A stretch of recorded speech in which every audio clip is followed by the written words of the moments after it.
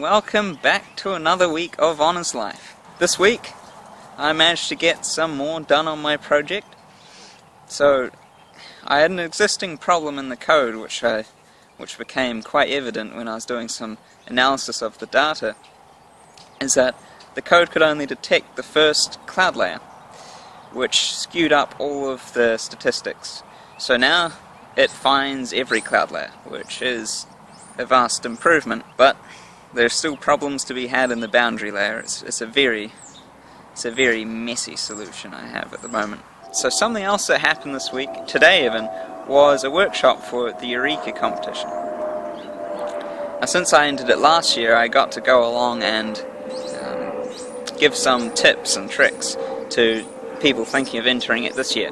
Uh, it's a very cool competition where it's you think of a science topic and how it could be applied to New Zealand to benefit the country economically, socially, or environmentally. So it's a really, really cool competition. It's great to be a part of it now. For some pretty awesome science that happened this week, the Messenger space probe sent, launched by NASA over a decade ago in 2004 crash landed on Mercury.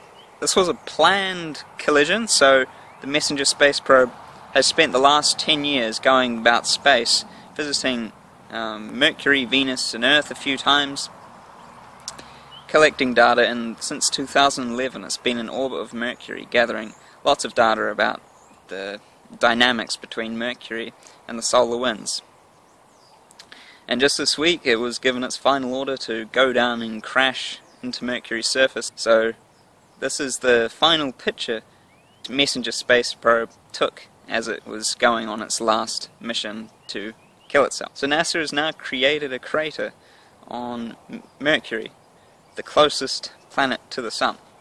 So that's a pretty awesome achievement. Now some other cool stuff which was also astronomy related is the New Horizons space probe, the one that was launched in 2006 to go out and visit Pluto and the stuff in the Kuiper Belt.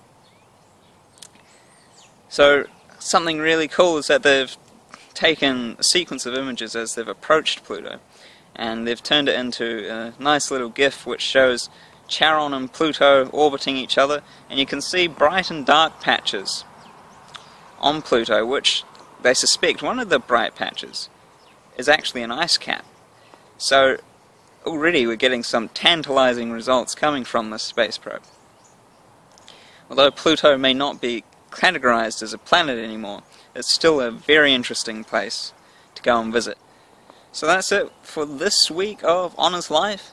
To finish off, I'll just leave you with this nice clip of Pluto and Charon orbiting each other. See you next week.